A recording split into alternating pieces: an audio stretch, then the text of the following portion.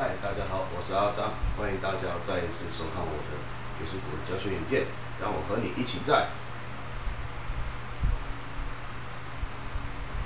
好，就这么一回事。好，我们今天所要探讨的打点的技巧呢，其实非常简单，呃，就是我们之后在打点里面之在也是在大概中期会学到的一种技巧，叫做缺点打击，也就是我们在四连一的技巧里面。我们打其中的哪三个点，或者是说哪一点不要打的这一种打点的变化。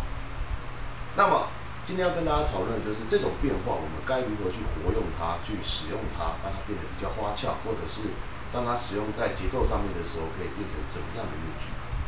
好，今天举一个例子，就是例如说，呃，我在第一拍的时候，我打的点是一、三、四，这样大家没有问题哦。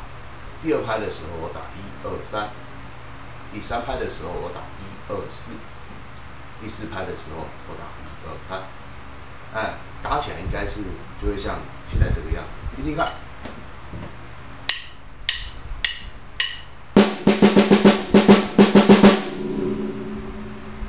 了解吗？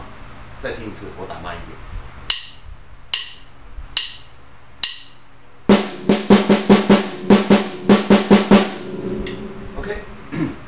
我们就用这个打点模式来当来当做是我们今天所要讨论的呃一个问题。我们该如何去把它变得比较花俏，或者是变得比较活用它这个技巧？其实很简单，我们来想象一下，我把这些打点放到我们一只手去打，右手好，右手来敲，它会变怎么样子？一样打在小鼓上面，听听看。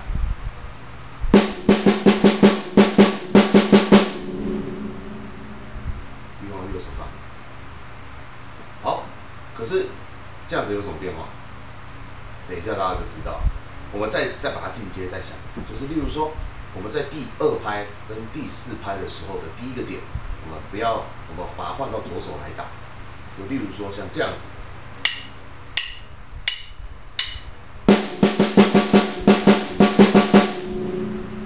再做一次哦。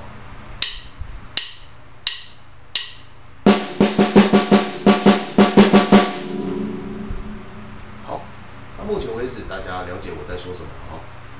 那么，刚刚我是都打在小鼓上面，现在我把我的右手移动到了 Hi 上面，而我的脚一样，我们就用最基础的节奏，脚在第一拍、第三拍的时候有大鼓，手一样在第二拍、第四拍的时候有小鼓。OK，大家听听看，当它做结合之后，它会发生什么事情？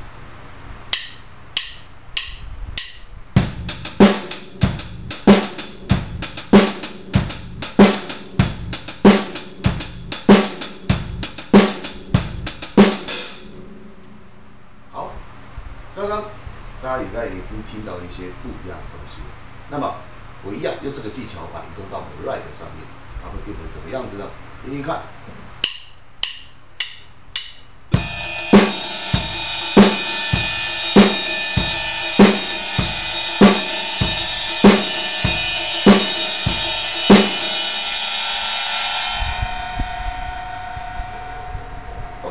就是用缺点打击做一点的一些基础上的变化。如果你认为你自己的节奏没办法做那么没有那么多的花招的话，不妨去想一想我们所练过的缺点打击的组合，把它变成移动到嗨黑上的位置，这样你的创意就会无限。